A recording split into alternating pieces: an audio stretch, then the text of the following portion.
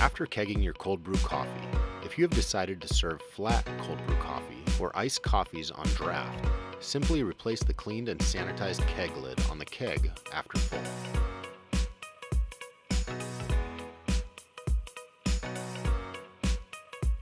Set the pressure on your regulator to around 5 or 6 psi, then connect the gas hose to the gas in post on your keg.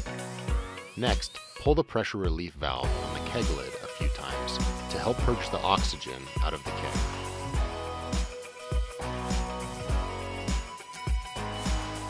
Then connect your liquid line to the liquid post on your keg, and you're ready to serve flat cold brew coffee.